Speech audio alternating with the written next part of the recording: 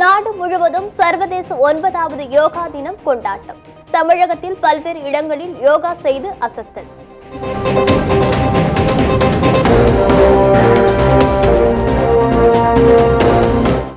அமைச்சர் செந்தில் பாலாஜிக்கு இருதய அறுவை சிகிச்சை நிறைவு.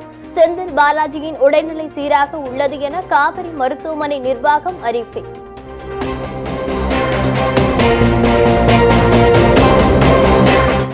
தமிழகத்தில் நாளை போராட்டத்தில் பங்கேற்கும் ஊழியர்களுக்கு சம்பளம் கிடையாது. மின்சார வாரியம் எச்சரிக்கை.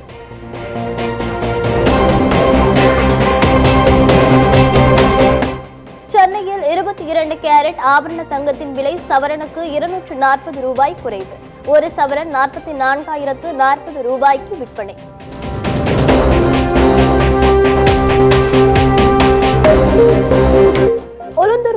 ஆட்டு சந்தையில் நான்கு மணி நேரத்தில் ஐந்து கோடி ரூபாய்க்கு ஆடுகள் விற்பனை. பக்ரி பண்டிகையை முன்னிட்டு போட்டி போட்டு ஆடுகளை வாங்கி சென்ற வியாபாரிகள்.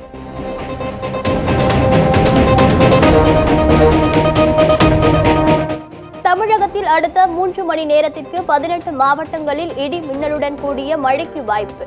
சென்னை வானிலை ஆய்வு மையம் தகவல்.